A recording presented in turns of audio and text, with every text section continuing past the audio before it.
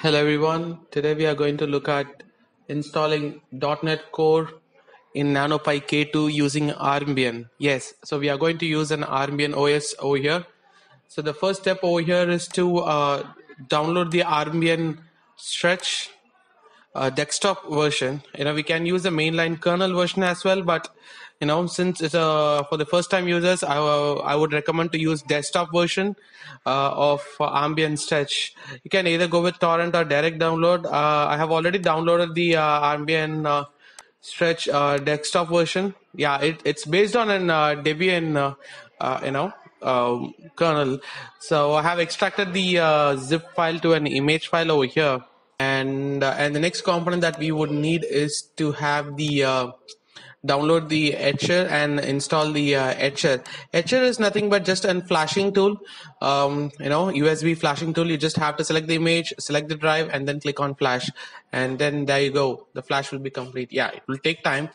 Uh, I have already downloaded and installed Etcher. Uh, have Etcher also downloaded over here, and uh, so without any further ado, like we'll, let's quickly begin with the uh, steps. So next step would be uh, with inserting the micro SD card um, you know, usually they say we can have at least uh, 8 GB, but uh, I would recommend to have 16 GB because uh, you know you're going to run a .NET Core and on an Linux, and you would need a powerful, uh, you know, huge spacious micro SD. And also, I would recommend class 10 uh, or above, which right now I'm using an uh, SanDisk SDHC. It's a high capacity uh, so I'm just going to just um, select the image and I'm going to reinstall it on the same part. I have, uh, I have to select the uh, Armbian OS over here, click on open and the USB device is already by default selected and the one which you just have to ensure that you're installing on the right drive, click on flash. It might uh, the Etcher might require administrative privileges depending upon your logon. Um, it takes some time. So we have the uh, flash complete in the etcher. Now uh, let's eject the, uh, just close the etcher and eject the micro SD. And then uh, let's plug in or plug on to the uh, NanoPi K2. And then let's see how the first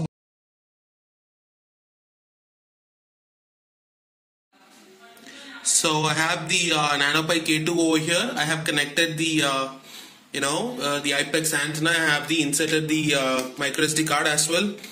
So I'll just quickly connect with the uh, power supplies and then um, I'll come back. So for the power supply, I'm using an uh, DC uh, 5 volt 2 amp power supply. So I have connected the HDMI uh, cable and everything. So I'll quickly uh, connect the power supply. It's a barrel type power supply. So give me a second guys. Yes, uh, I have connected the USB keyboard and mouse as well. So this would be the first boot over here. And, so it took close to uh, one minute and uh, you know one and a half minutes. So let me quickly uh, zoom the uh, camera over here. So the the default logon for NanoPi K2 over the default logon for NanoPi K2 would be uh, root, and the password would be uh, one two three four. That's the default password, and you might have to change the current password. So first password would be uh, 1234 again. Then you have to insert the new password uh,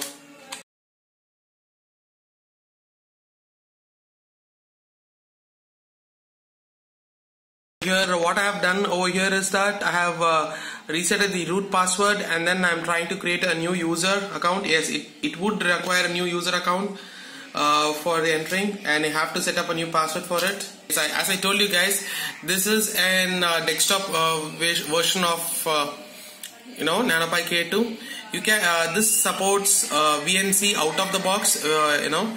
See all you need an VNC receiver on your Windows and here we go. The Armbian OS is booted. And yes it's super fast. So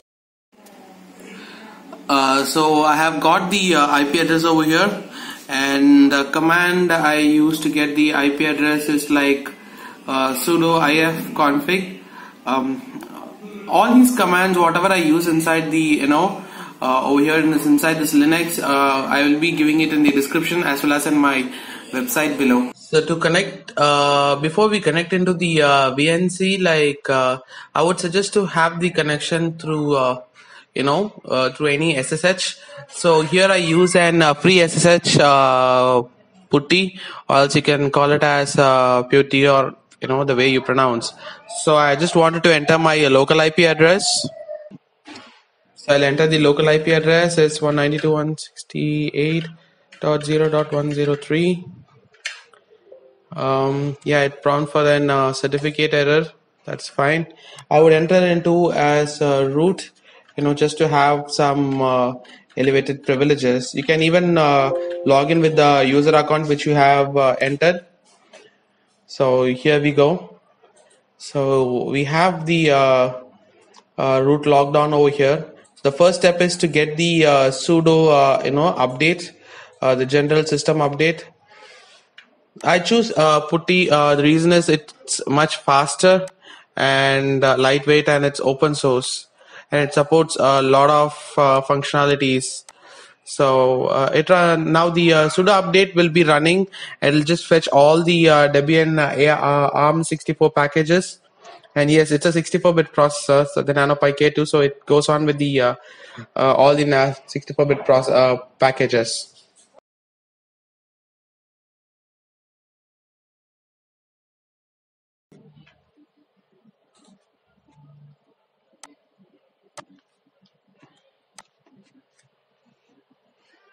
So once the APT uh, update is done, then uh, we will move on to the uh, uh you know Unwind eight uh, library.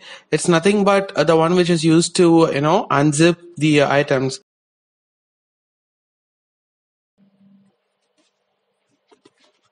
So once the library Unwind eight gettext is done, so we'll get the you know .NET Core 2.1.2 401 so that's the latest you know stable release that we have you know at the time of doing this video.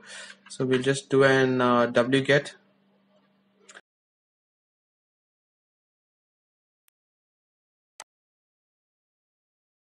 so once the uh, .NET SDK downloader is done now we'll make an uh, folder in the uh, op optional you know make a folder as .NET and then uh, we'll try to, you know, unzip the uh, uh, .NET over there, uh, .NET SDK, uh, you know, tar over there. So to do this unzip is what we need the, you know, library unwind. So and then we'll create an uh, global uh, variable path over here you know global we call we can call it as an environment variable in dot uh, windows. So we'll just uh, cre uh, created the environment variable. Now let's see the uh, now let's run the .NET command and see what version we have you know got over here. So the first time it takes few minutes you know to the .NET library to boot in now if you can see uh, the .NET Core SDK is completely until now. You know it, it but still it, it's been running on so many servers. So I have run over here then a complete uh, .NET SDK and then uh, .NET uh, you know runtime libraries as well.